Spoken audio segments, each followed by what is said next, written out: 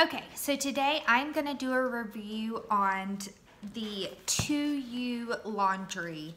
I'm sure that you guys have heard about it because it's all over social media. Their ads are just everywhere. So I decided I'd give them a try.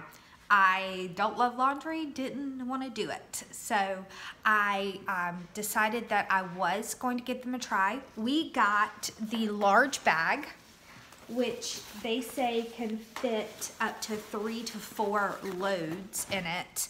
Um, I could only fit probably one, one and a half in there. Uh, my loads are obviously bigger than the average person though. And um, so something I loved is that all, they come to you. They pick it up and they bring it back to you. So you don't have to leave the house.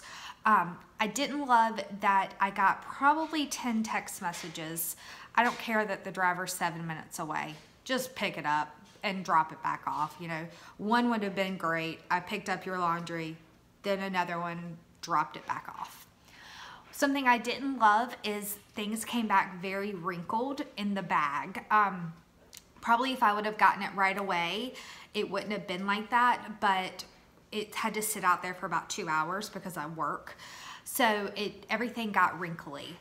Um, Overall, I probably wouldn't use them a lot, uh, but I can see if I get really far behind, maybe, you know, filling this thing up with a lot of my kids' clothes because they're smaller.